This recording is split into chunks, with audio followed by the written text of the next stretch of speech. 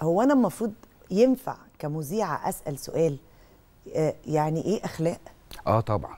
ده السؤال بقى الأصلي. يعني خلينا دايما لما نعطل في, في أي مشكلة نردها لأصلها. آه. إيه هو الأخلاق؟ إيه هي الأخلاق؟ الأخلاق دي مجموعة من القيم والمبادئ اصطلح عليها الناس وقالوا إن ده فعل خير وإن ده فعل شر. مم. وبعدين جات الأديان أكدتها وبعدين الناس تعاملت بيها فوجدت منها الصالح واللي مش صالح قومته بعد كده فبقى خلق قويم. تمام. كويس؟ هي دي الأخلاق. إزاي إزاي نتعامل مع بعض سلوكياتنا في التعامل مع بعض دون أن نؤذي أحد أن نتنمر على أحد أن نقهر أحد أن أن أن أن من ضمن كل يعني حطي فيها كل ال- المساوئ والمسالب.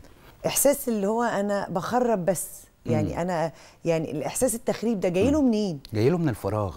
الفراغ طول ما هو برافو ما عليك عندوش عمل ما عندوش حاجة يعني طول ما هو. ما آه. اتعلمش صنعة مم. ما اتعلمش ما اتعلمش حاجة خدي. بالك ممكن نعلم الولد مزيكا. ونعلمه رياضة ونعلمه صنعة. ونعلمه وأنا بكلمك بقى من أول آه، يعني فئة ال high class اللي آه. هي بتعلم في في أندية وحاجات آه. لحد الولد اللي بيروح يتعلم في صالة آه، كمال اجسام وكلهم أبطال في في مركز شباب